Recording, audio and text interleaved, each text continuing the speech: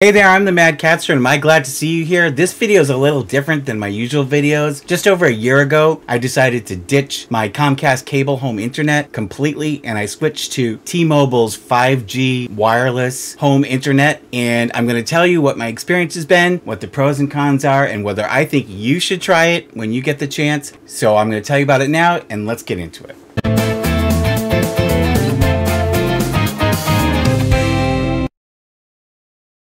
Just as a precursor to all of this, I am in no way sponsored by T Mobile or anybody. I don't get any free service, I don't get any money, I don't get any kind of break or any kind of promotion at all. So everything I'm telling you is 100% my opinion from my experience only. Okay, it's all genuine from what I've experienced. So just to get that out of the way. So there is no promotion here at all. So a couple of years ago, I decided to do what they call, you know, cord cutting. And I decided first to get rid of my Comcast cable service. And, you know, at that point, there really weren't that many options in terms of the internet, so I kept my high-speed internet through them because really it was either that or DSL where I live, and so I thought, well, I'll keep the Comcast. So, anyways, I got rid of the TV portion, and I tried basically every cable TV streaming service that there is out there, and they were all pretty much very similar. I had AT&T's slash DirecTV service for a while, and I kind of like that one the best. But I realized after a while that I don't watch television like I used to. You know, it's like like back in the day, I had a TiVo, which was you know the the beginning of DVRs before they went virtual, before they went digital, and I had TiVo, and so TiVo would you know I had all these programs I watched. TiVo would record what I wanted, and then I would watch it. I never really watched live TV ever, even when streaming services weren't big, but you know, it was more and more television outlets and media companies started putting out their streaming services and apps. It really became clear to me that I really didn't need to pay for all of the cable I was getting. I really didn't like the fact that I had to pay to get all these channels I didn't even watch. So what I started doing was first I tried the streaming version of cable, and that was great, but again, like I said, I realized that you know, why am I paying for this? You know, there's only certain shows that I watch. Some of them are at different times of the year, so I'm not necessarily needing all of these channels again all at the same time. So what I did was I stopped doing that too, and that saved me a lot of money every month. But what I started doing was signing up for the streaming services, like through the different major networks and cable networks, because there were certain shows I wanted to watch. And what I do is I watch the show I want to watch, and I usually will, unless it's something I really can't wait for. I'll usually what I'll do is I'll I'll subscribe and I'll binge watch the shows that I really like, and then I'll pause that subscription, and then I'll active reactivate another one, and I'll watch the shows that I wanted to watch on there, etc. And I keep bouncing around, and it's worked out to be a lot cheaper than paying every month to have all these channels I don't watch. But also, of course, I have Netflix. I have Hulu, although I'm finding as time has gone by, I'm not watching Hulu nearly as much as I used to. I'm primarily watching Netflix and Amazon Prime, which I have. So I'm probably going to pause my Hulu subscription because I'm paying for it every month and I'm really not watching it. Netflix I do watch and actually I chose the T-Mobile internet service for my home because I I had my phone service with T-Mobile and I actually get my Netflix as a perk through the plan I have. I get it for free, so I actually don't pay for Netflix. So, anyways, went from the cable TV to the streaming TV version of cable to just now subscribing only to certain streaming services when I there's things I want to watch, and then I, like I said, I bounce around and pause them when I'm not using them. But my biggest pet peeve in the whole world is I hated having the cable company because you never paid what they told you you were going to pay because there was this charge and that charge and this fee and that fee. So the concept of 5G wireless home internet has sort of been buzzing around in tech circles and the cord cutting circles for a while.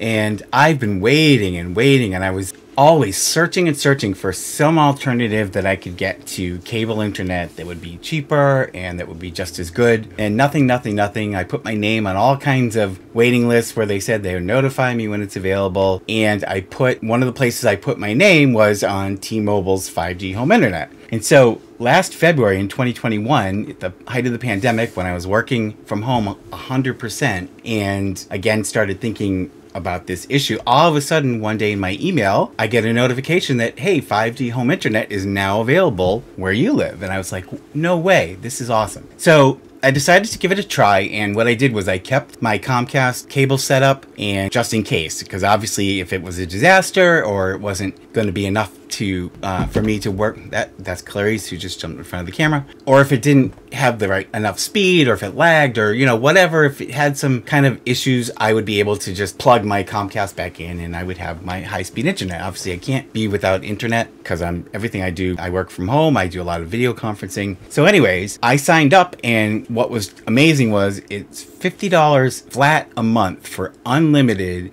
home internet. I was like, you've got to be kidding. $50 for unlimited high speed internet. And they send you the device for free. So what you get is, or what I got anyways, I know they've had a couple different versions, but so they sent me this and basically it's the cable modem that receives the cable signal obviously from towers it's also is a router. So if you don't have a router, you don't need anything else. This can do the whole job for you. The, the router and the modem are right in here. When it came, what you have to do is you have to sort of go around your house and find like the place where you get the best signal from them. I'm kind of lucky because where I live, there's there's a 5G tower for T-Mobile not far from my house. So when I plugged it in, you know, I had to experiment in a couple of places, but I put it in my bedroom on one of the nightstands, and there I got all five bars. So 100% superb signal. So I hooked it up and then even though it has the router function, I decided to keep my router. I have a really high-end Wi-Fi 6 router for my house and then I have like another extender. So I have really good coverage for my router in the house. And I also like the features. There's, you know, like all kinds of security features and different things that you can do with the high-end router.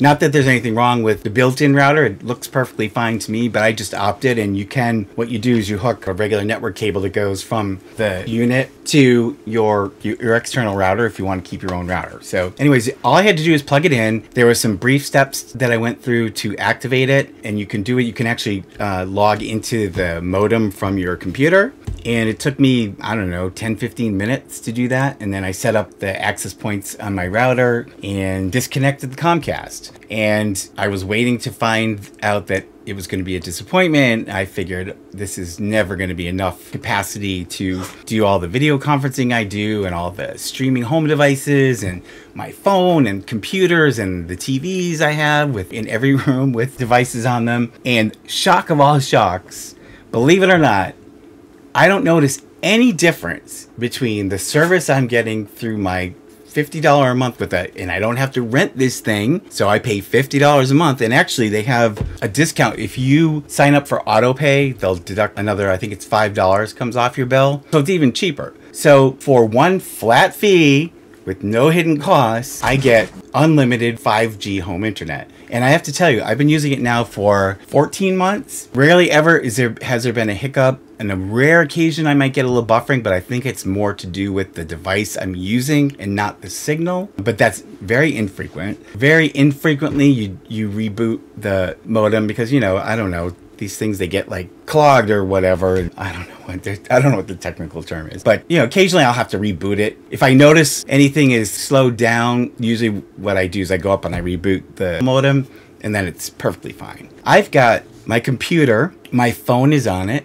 I've got a TV in my living room, my bedroom, and my kitchen that are all have devices. I have internet, TV, devices on my TV in my bedroom, my living room, and I have my TV in the kitchen is an Amazon TV. So that's got like the built-in Amazon box in it. So that's on. I've got, I li literally have an Alexis device in every single room.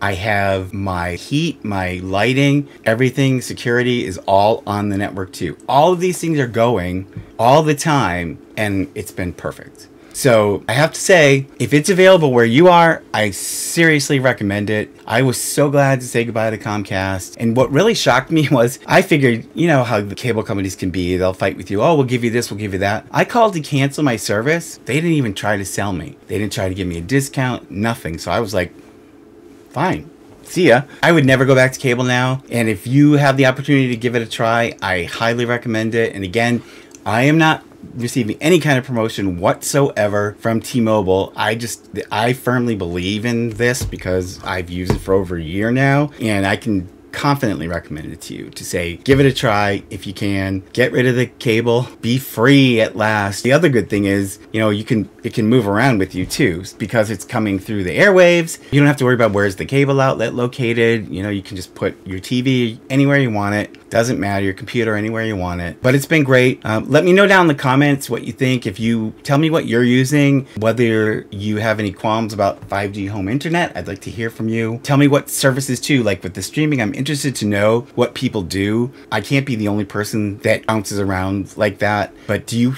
have some kind of cable streaming or regular cable TV? Or, or have you found like me that it's just not necessary anymore with all the streaming services? Let me know. Like, subscribe. I'd appreciate it. And I will see you in the next one. Purty please. Subscribe, like, and hit the bell. I get a treat for every new sub. Thank you.